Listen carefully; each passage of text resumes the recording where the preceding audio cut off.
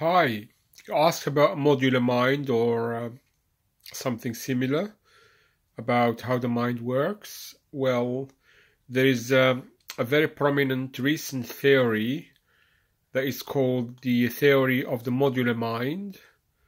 Um, it's a very simple idea, but it's a very powerful idea because it describes how our minds work. And this theory is uh, as follows imagine you are standing in a room, in a circular room, and in this room there are boxes.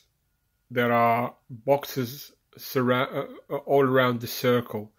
Some of them are red, some of them are green. The red boxes constitute modules that trigger negative uh, thinking, and green boxes are modules that trigger positive thinking. Okay? Right.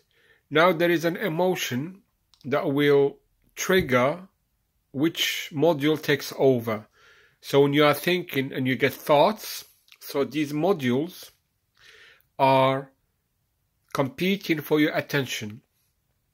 And the uh, the emotion, let's say the emotion of anger triggers um, a self-preservation module that starts producing thoughts and uh, that's the theory of the uh, of the uh, modular mind.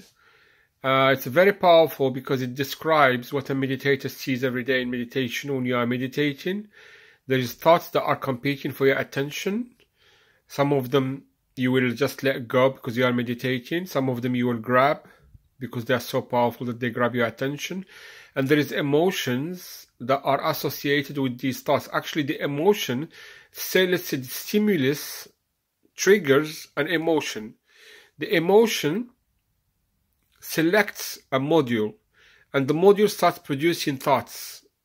And those thoughts compete for your attention. Then when your attention is held by a thought, then they keep breeding more and more thoughts and thinking you in that line of thinking for a while and that's the mood you are in at the time. For a meditator, you can see these things in action uh, you can see the modular mind in action, and it's, uh, it's a brilliant uh, theory that describes the mind uh, pretty accurately.